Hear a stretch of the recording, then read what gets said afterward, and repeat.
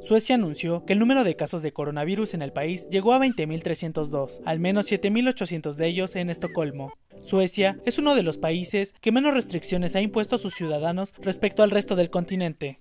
El total de decesos registrados se ubica en 2.462, según la información emitida por la Agencia de Salud Pública sueca, lo que da una tasa de mortalidad de arriba del 12%, superior al porcentaje global que hasta el momento se registra en 6.8%, de acuerdo a las cifras de la Organización Mundial de la Salud. Las medidas del país permiten que los negocios continúen abiertos, entre ellos bares y restaurantes, centros para hacer ejercicios y escuelas, por lo que hay un ritmo de vida regular.